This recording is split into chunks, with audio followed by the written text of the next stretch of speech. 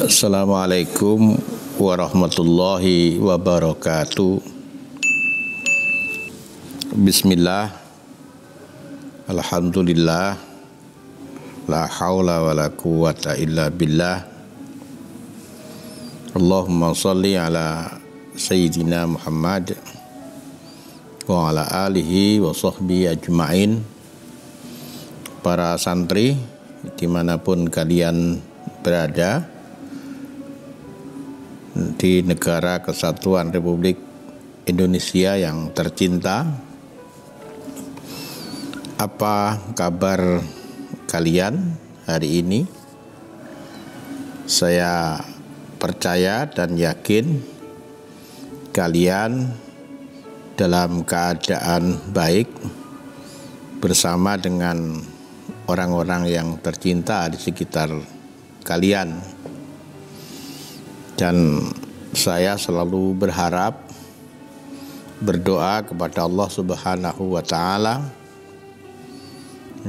Kita semua dan juga kalian senantiasa mendapatkan rahmat dan hidayah sehingga kita bisa menjalani hari-hari yang kita miliki kesempatan yang Allah berikan dengan kebaikan-kebaikan para santri hari ini saya ingin mengajak para santri untuk mencoba menganalisa perkembangan di negeri kita agar kita bisa melakukan sesuatu hal-hal yang tidak kita inginkan. Semoga tidak terjadi. Hal-hal yang positif dalam kehidupan bangsa kita kita pertahankan kita kembangkan sehingga walaupun pelan tapi pasti negara kita tumbuh berkembang menuju cita-cita yang kita sepakati bersama negara yang adil, makmur berdasarkan Pancasila. Para santri ketika Islam berhadapan dengan orang lain non Islam apa, apalagi non Islam ini menyerang berniat menghancurkan saya tidak khawatir sejarah membuktikan dan Allah juga mengizinkan ketika ada orang memerangi kita dari luar, maka kita dibolehkan oleh Allah untuk mempertahankan diri dengan cara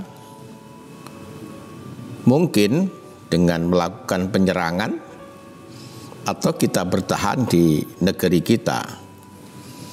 Dan selama ini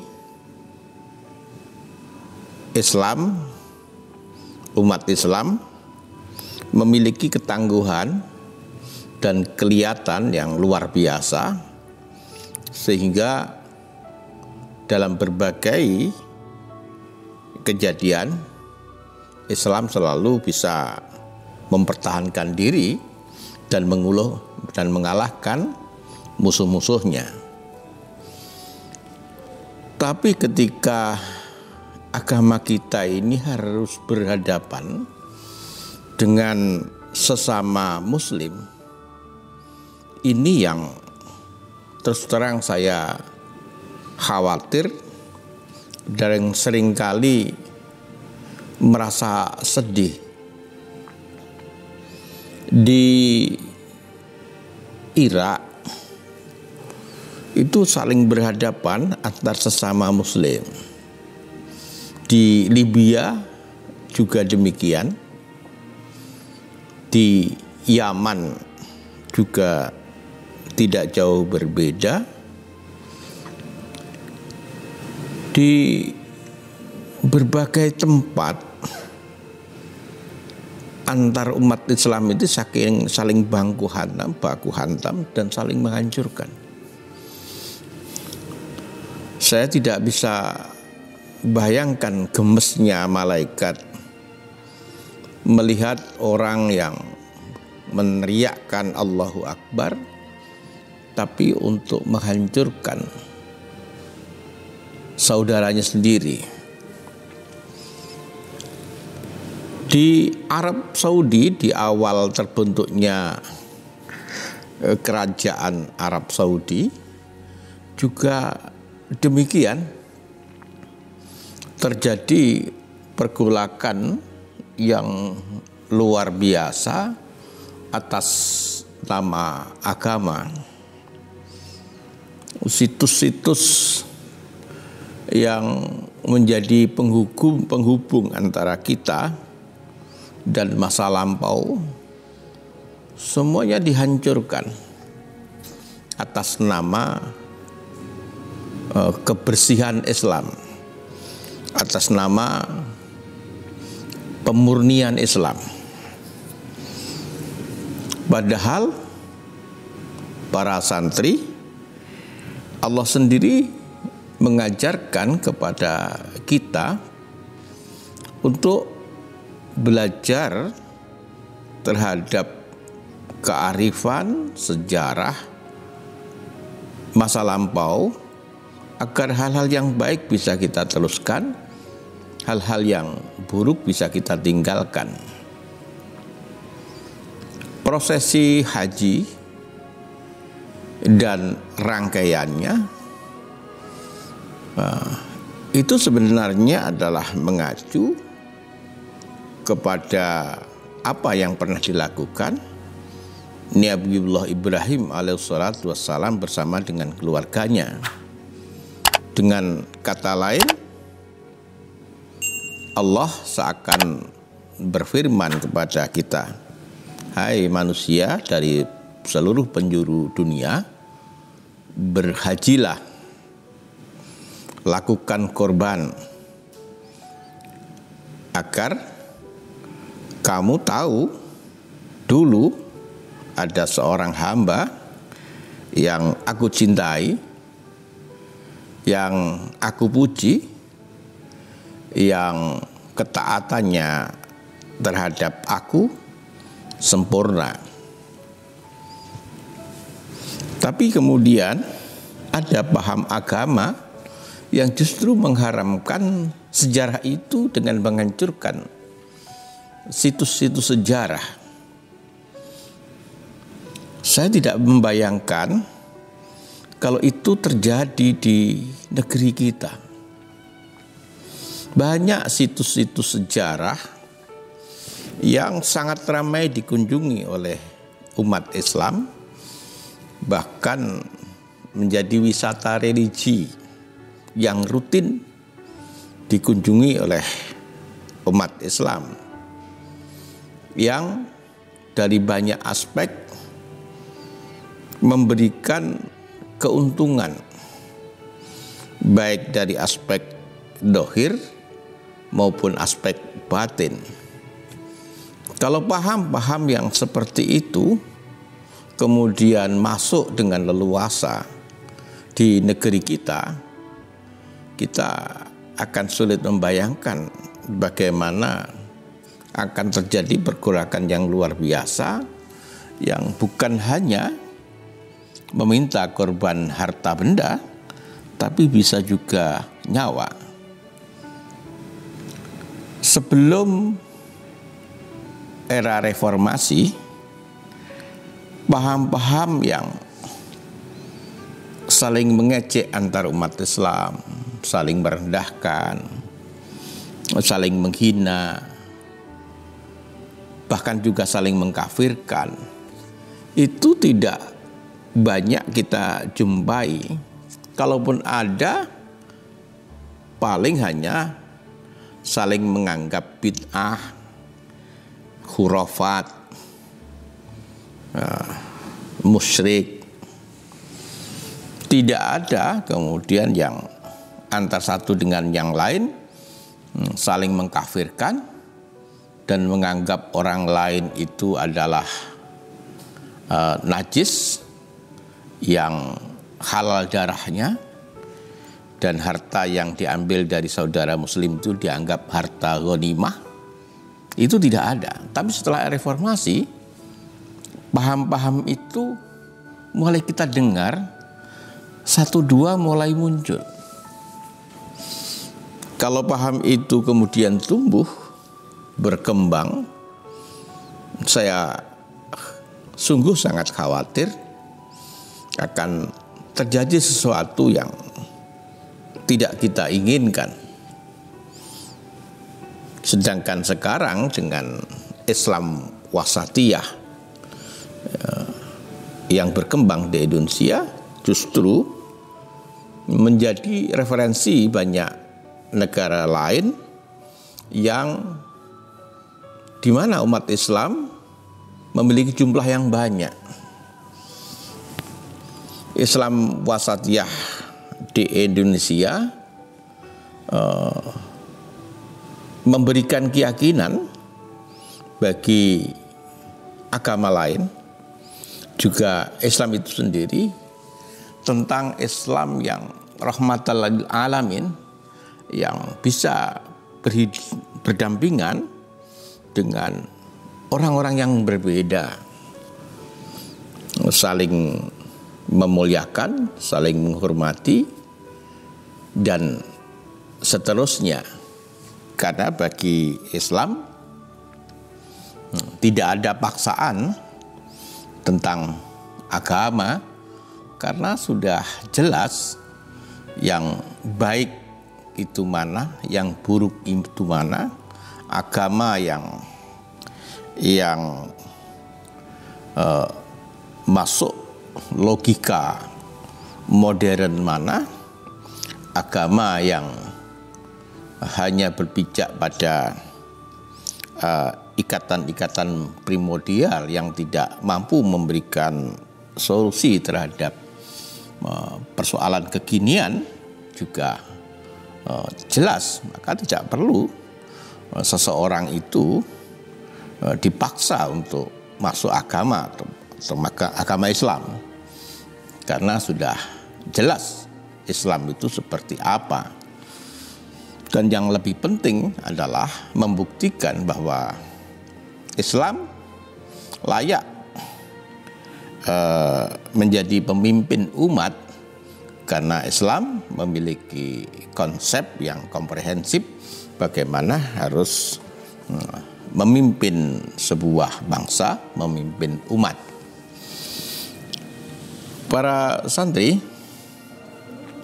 saya ingin menyampaikan kepada kalian semua sebagai bahan diskusi tentang Sebenarnya kapan ya akar radikalisme itu muncul? Radikalisme itu muncul sebenarnya sejak Gusti Kanjeng Nabi Shallallahu Alaihi Wasallam. Kalau tidak salah, Sawal tahun 8 Hijrah saat beliau Nabi Shallallahu Alaihi Wasallam baru saja memenangkan perang di Taif dan Hunain. Dalam perang itu umat Islam mendapatkan ghanimah yang melimpah. Seperti biasa, ghanimah itu diberikan kepada para sahabat. Dan waktu itu pembagiannya dilakukan di Tironah mikot umroh seperti kita ketahui. Para sahabat senior seperti Abu Bakar radhiyallahu an, Umar radhiyallahu an, Utsman radhiyallahu an, Ali karmallahu wajah, Sa'ad radhiyallahu dan lain-lain tidak mendapatkan bagian. Justru sahabat yang baru masuk Islam mendapatkan ghanimah walau mereka sebenarnya sudah kaya seperti Abu Sufyan misalnya. Seorang laki-laki keturunan Bani Tamim bernama Zul Khuwaisirah maju dengan congkak dengan suara yang keras berkata, Berlakulah adil wahai Muhammad. Suara itu mengagetkan para sahabat yang datang pada saat itu. Tidak ada yang berani berkata sekeras itu di depan Rasulullah. Nabi Shallallahu Alaihi dengan tenang menjawab, celaka kamu. Siapa yang akan berbuat adil jika aku saja tidak berlaku adil? Umar radhiyallahu an yang sering kali temperamental matur kepada Gusti Nabi, "Wahai Rasul, biarkan saja aku penggal lehernya."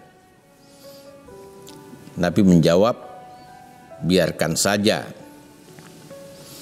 Ketika orang itu beranjak pergi, Nabi Shallallahu Alaihi Wasallam bersabda, akan lahir dari keturunan orang ini kaum yang membaca Al-Quran tapi tak sampai melewati batas tenggorokannya. Mereka keluar dari agama Islam seperti anak panah tembus keluar binatang buruannya. Mereka memerangi umat Islam dan membiarkan penyembah berhala. Kata Nabi, kalau aku menemui mereka, niscaya aku akan penggal lehernya seperti kaum Ad.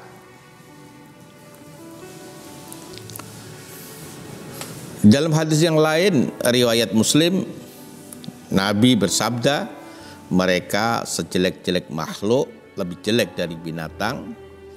Mereka tidak termasuk golonganku dan aku tidak termasuk golongan mereka.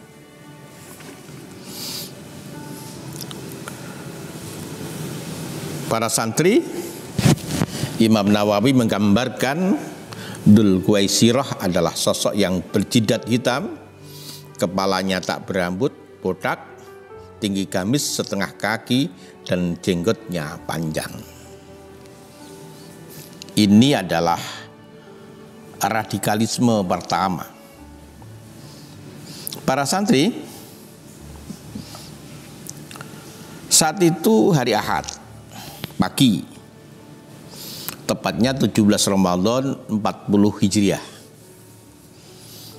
Khalifah Ar-Rasyid yang keempat, Sayyidina Ali bin Abi Thalib karmal wajah terbunuh di Kufah, Irak. Pembunuhnya adalah Abdurrahman ibnu Muljam. Ada dua target lain sebenarnya yang mereka rencanakan untuk dibunuh yaitu gubernur Syam di Syria Muawiyah bin Abi Sufyan dan gubernur Mesir Amr bin As. Direncanakan yang akan menjadi eksekutor adalah Abdullah bin Barak dan Bakar At-Tamimi. Tapi keduanya gagal. Hanya Ali Karmal Wajah yang berhasil mereka bunuh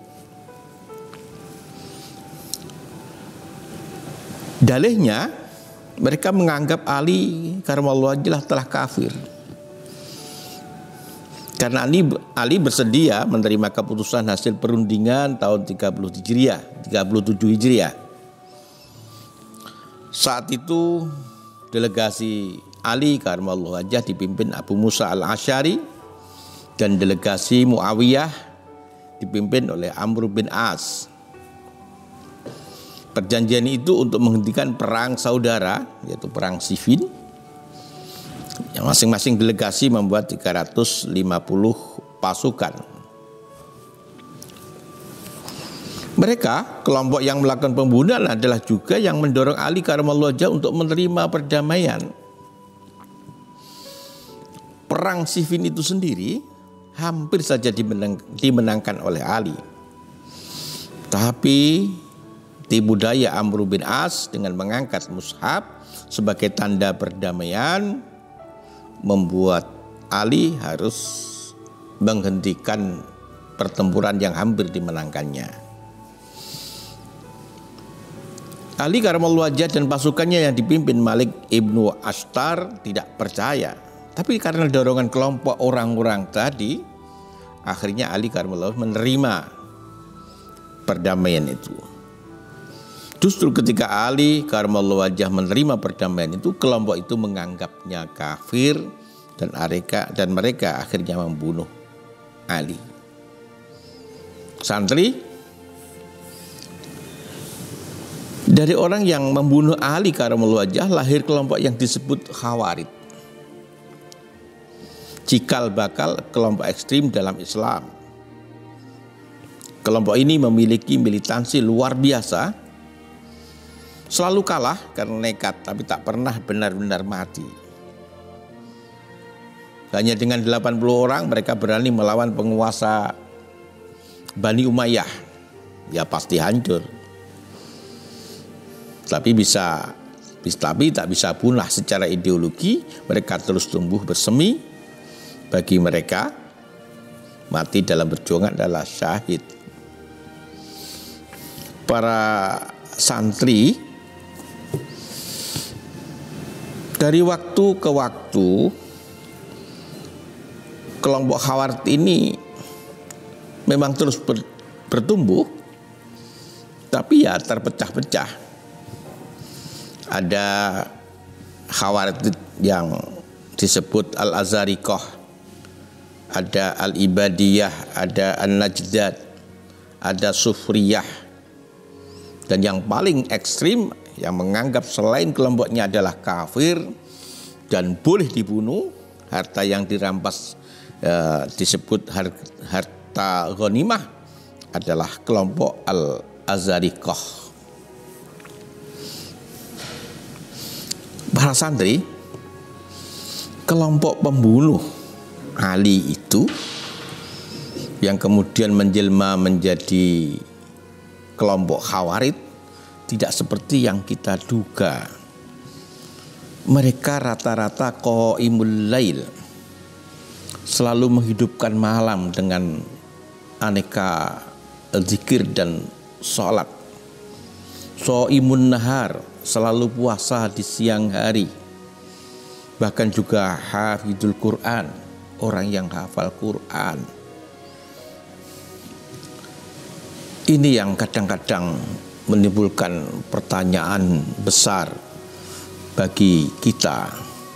Artinya orang yang berjidat hitam, kemudian selalu puasa, hamilul Quran.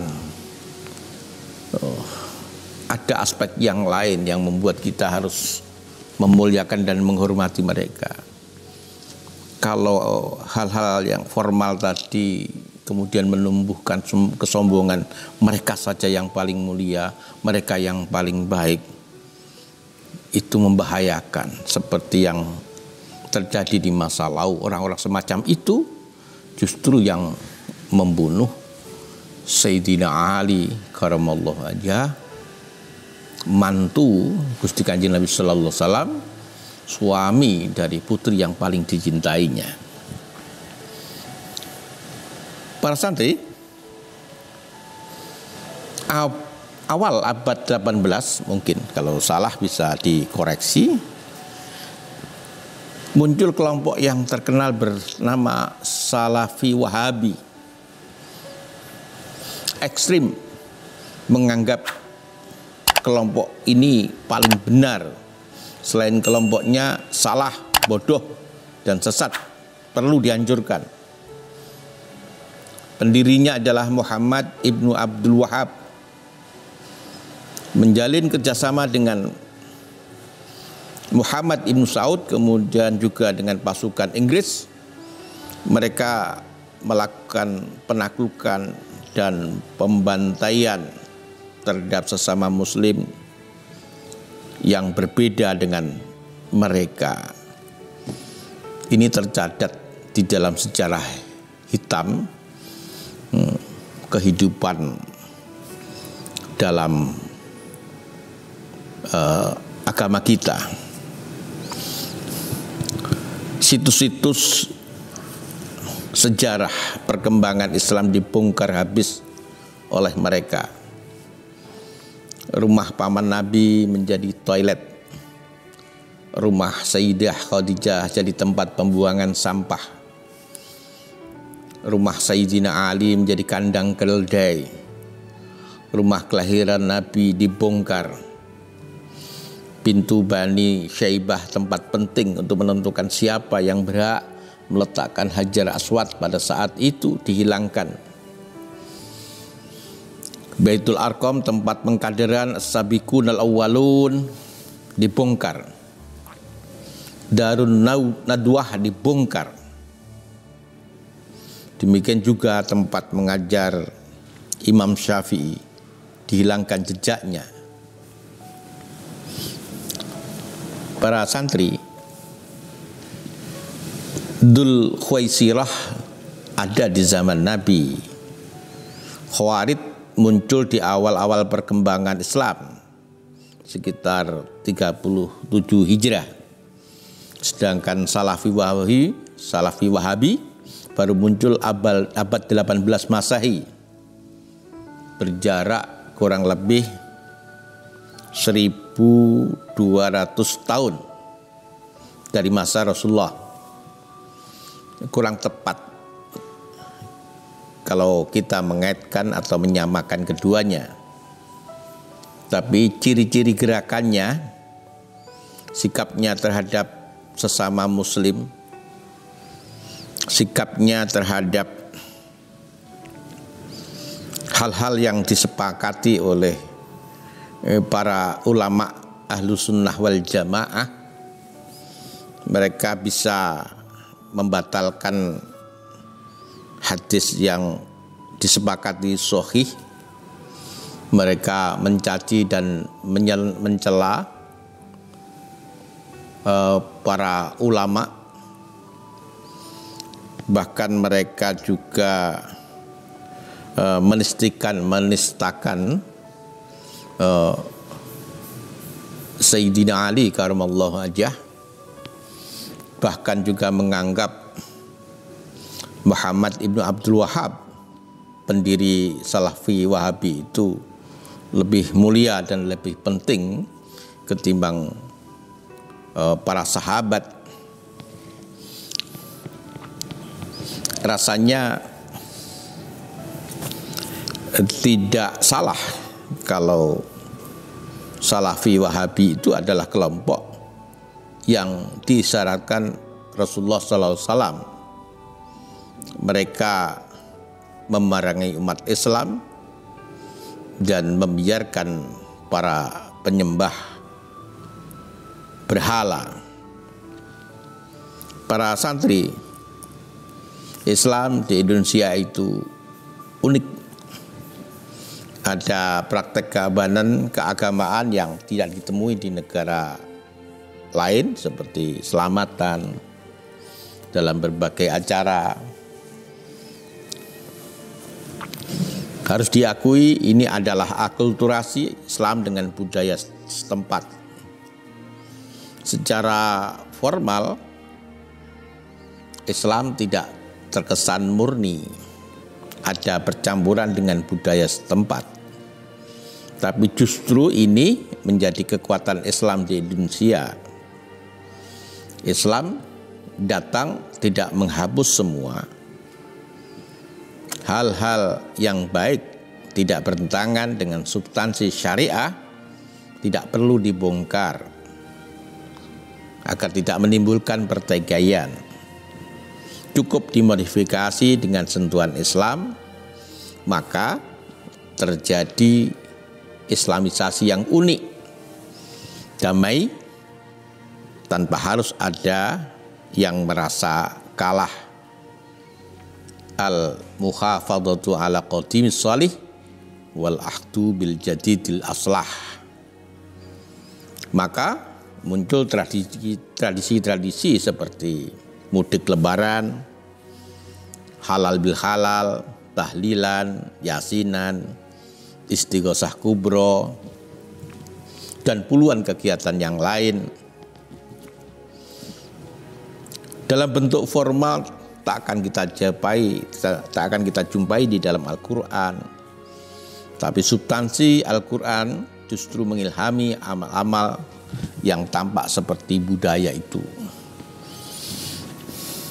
Kalau Salafi, Wahabi kita biarkan tumbuh berkembang di Indonesia, Khawarid kita berikan ruang tumbuh di Indonesia, melihat cara pandang mereka yang tekstual, tidak melihat dari banyak aspek, tidak komprehensif, maka akan terjadi pergolakan yang luar biasa.